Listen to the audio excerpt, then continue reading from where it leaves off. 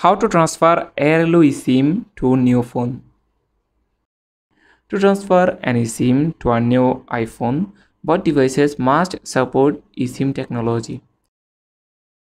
Ensure both iPhones are running iOS 16 or later for easy eSIM transfer.